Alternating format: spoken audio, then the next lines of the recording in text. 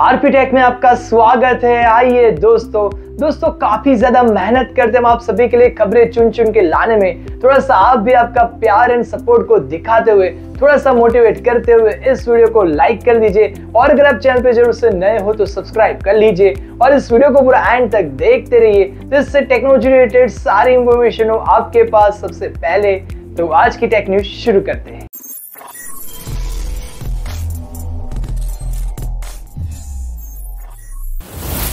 पहली खबर की शुरुआत करते हैं आईकू से। भाई, आईकू 12 सीरीज़ बहुत ही जल्दी दस्तक देने वाली है चाइना में। जी हाँ ऑफिशियली लॉन्चिंग डेट निकलकर बाहर आ चुके सात नवंबर को ये लॉन्च होने वाली है चाइना में। And I could twelve series में आप सभी को पता ही है कॉलकॉम स्नैपड्रैगन 8 जेन 3 चिपसेट की ताकत होने वाली है। अब भाई, मैं काफ़ी ज़्यादा एक्साइटेड हूँ कि आईकू 12 सीरीज़ हमें कितनी ही जल्दी भारत में देखने को मिल जाती है और इसे किस कीमत पर लॉन्च किया जाता है। वैसे आप भी एक्साइटेड हो या नहीं, क्या सोचे आपकी इसके बारे में कमेंट में ज़रूर से बताइए।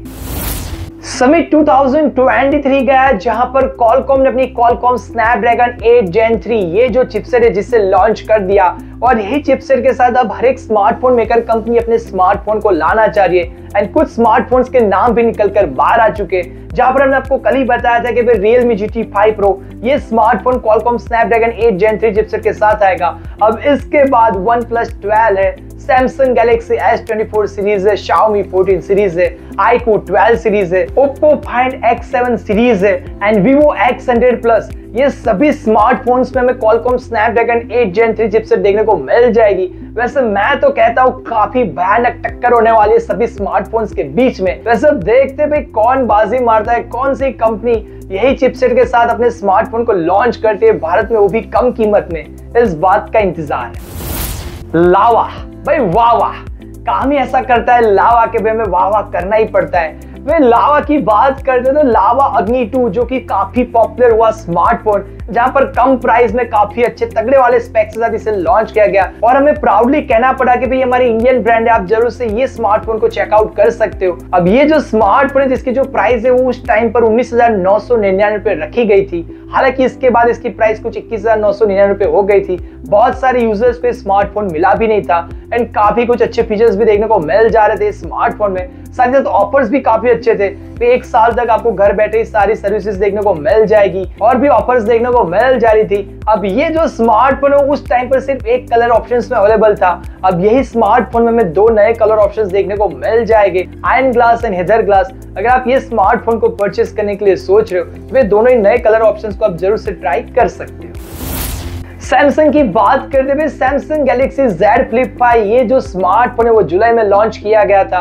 अब यही स्मार्टफ़ोन में हमें एक नया एडिशन देखने को मिल जा रहा है। Samsung Galaxy Z Flip 5 retro edition और ये रेट्रो एडिशन से हमें रेट्रो वाइब भी देखने को मिल जाती है। और ये जो स्पेशल एडिशन है, वो कहा जा रहा है, कुछ लिमिटेड कंट्रीज़ के लिए रहने वाला है। अब देखते हैं कि ये स्पेशल एडिशन को भारत में लॉन्च किया भी जाता है या नहीं।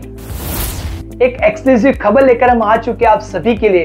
वह Redmi K70 ये जो स्मार्टफ़ोन जो का रिबैज वर्जन ग्लोबली हमें देखने को मिल जाएगा पोको एप सीरीज़ के अंदर, जो कि कहा जा रहा है पोको एप सिक्स स्मार्टफ़ोन होने वाला है, जो कि ये जो स्मार्टफ़ोन है, वो हमें बहुत ही जल्दी देखने को मिलने वाला है, क्योंकि ये स्मार्टफ़ोन पर अभी फ़िलहाल सीरियल प्रोडक्शन का काम शुरू हो चुका है। European and Euro Asian countries में, यानी कि लॉन्चिंग काफ़ी ज़्यादा नज़दीक है। अब ये देखते हैं स्मार्टफ़ोन में कितनी ही जल्दी देखने को मिल जाता है, इसे किस कीमत पर लॉन्च किया जाता है, इस बात का इंतज़ार। Xiaomi की बात करते हुए Xiaomi 14 सीरीज़ हाल ही में चाइना में लॉन्च की गई है। और यही इवेंट में Xiaomi ने अपनी वॉच S3 को भी लॉन्च किया था। अब ये जो स्मार्ट वॉच है, जिसका जो ग्लोबल वेरिएंट है, वो कहा जा रहा है, बहुत ही जल्दी हमें देखने को मिल जाएगा। और इसी के साथ Redmi वॉच ये भी आने वाली है क्योंकि दोनों ही जो मॉडल्स है, जिसका अभी फ़िलहाल सीरियल प्रोडक्शन का काम शुरू हो चुका है यूरोपियन एंड यूरोशियन कंट्रीज़ में, यानी कि लॉन्चिंग नज़दीक है और कहा जा रहा है कि Xiaomi 14 सीरीज़ जो ग्लोबली लॉन्च होगी, इसी के साथ यही इवेंट में Xiaomi Watch S3 and Redmi watch को लॉन्च किया जाएगा। अब देखते हैं क्या होता है। वैसे मैं तो काफ़ी ज़्यादा एक्साइटेड हूँ Xiaomi 14 सीरीज़ को लेकर। अब देखते हैं Xiaomi 14 सीरीज़ कितनी ही जल्दी हमें ग्लोबली देखने को मिल जाती है। इस बात का इंतज़ार। कॉलकॉम की बात करते हुए Qualcomm Snapdragon X elite chipset जो कि स्पेशली हमें लैपटॉप्स एंड पीसी के लिए देखने को मिल जाती है। और ये जो चिपसेट है, जिसकी कंपैरिजन की गई M2 and M2 Pro chipset के साथ, इनके गीक बैच स्कोर के साथ, जो कि काफ़ी ज़्यादा हायर आया हुआ है। वैसे M2 Max चिपसेट से 30% बेहतर है, पर सरप्राइजिंग बात यह है कि भाई M3 लाइनअप की कोई भी यहाँ पर बात नहीं की गई है। पर बात तो ये है कि भाई ये जो चिपसेट है जिससे अगर कम प्राइस में लॉन्च किया जाता है तो डेफिनेटली यहाँ पर इंटेल खतरे में मुझे दिख रहा है। वैसे क्या सोचे आपकी इसके बारे में कमेंट में ज़रूर से बताएँगे ओप्पो की बात करते हुए ओप्पो का एक और स्मार्टफ़ोन हमें बहुत ही जल्दी देखने को मिलने वाला है ए सीरीज़ में ए सेवेंटी नाइन और यही स्मार्टफ़ोन के पूरे के पूरे स्पेक्स निकल कर बाहर आ चुके हैं लॉन्चिंग से पहले ही। तो ये जो स्मार्टफ़ोन आएगा, जिसमें हमें 6.72 इंच की एफ़ प्लस डिस्प्ले देखने को मिल जाएगी, वो भी 90 हर्ट्ज के रिफ्रेश रेट के साथ। MediaTek Dimensity 6020 चिपसेट का इस्तेमाल देखने को मिल जाएगा। 8GB RAM 128GB storage Android 13 out of the box 50 plus 2 megapixel dual rear camera setup जबकि 8 मेगापिक्सल फ्रंट सेल्फी कैमरा में देखने को मिल जाएगा। 5000 mAh की बैटरी एंड 33 वाट का फास्ट चार्जिंग सपोर्ट भी होने वाला है यही स्मार्टफ़ोन में।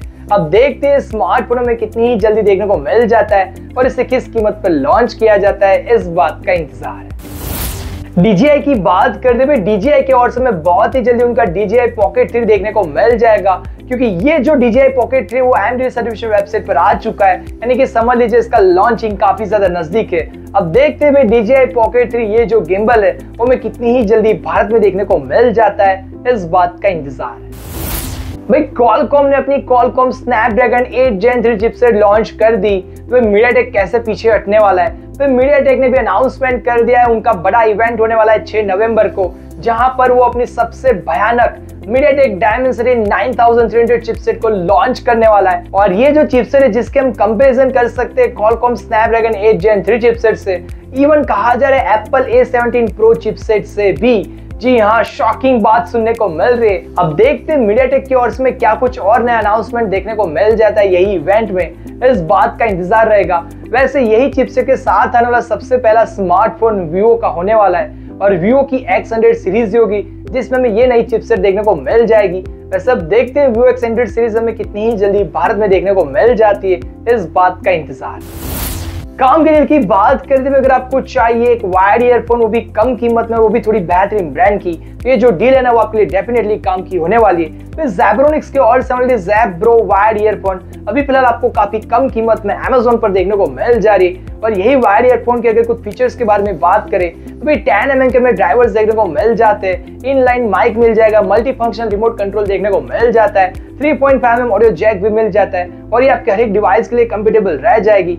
और ये जो एयरफोन है, जिसमें हमें सिक्स मंथ की वारंटी भी देखने को मिल जाती है, और क्या चाहिए? और ये ईयरफोन की अगर कीमत की बात करें तो ये अभी आपको अमेजोन पर देखने को मिल जाए सिर्फ़ एक सौ में। वैसे काफ़ी बेहतरीन डील है। अगर आपको चाहिए तो आप इसे ज़रूर से चेकआउट कर सकते हो।